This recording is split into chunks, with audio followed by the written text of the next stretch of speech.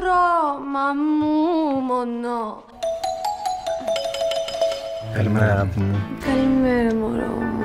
Κανείς δεν μπορεί να συγκριθεί μαζί σου. Τι σου περνάει από το μυαλό μετά από 20 χρόνια γάμου. Να χωρίσουμε. Βιάζεται να βγάλει το διαζύγιο. Ούτε ο Πέτρος έχει γκόμενα, ούτε εγώ έχω γκόμενα. Ανάποδο σε όλα. Πρώτα χωρίσαμε και μετά βρήκε γκόμενα. Τόσο ηλίθιος. Το είχα καταλάβει. Εσύ; Δεν μπορώ να διαλέξω. Δεν μπορώ να αποφασίσω. Τι πουτανέσκα για εσάς. Πιο ταιριαστή μακαρονάδα δεν θα μπορούσα να έχω παραγγείλει. Μετά από την απόλυτη επιτυχία συμπέθερη από τα τύρανα, η νέα κομική σειρά με την υπογραφή των Ρέπα Παπαθανασίου. Αν δεν σου πει η μάνα ότι χόντρινες, ότι σταφίδιασες, ποιος θα σου τα πει; Τι αυτή αυτός που μεγάλωσε, που έκανε κυλίτσα.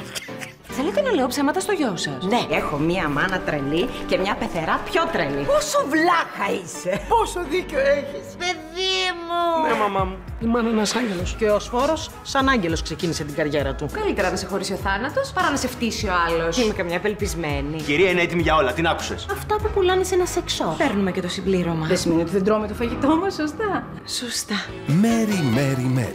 Πρεμιέρα το Σάββατο 8 Οκτωβρίου στις 9 το βράδυ.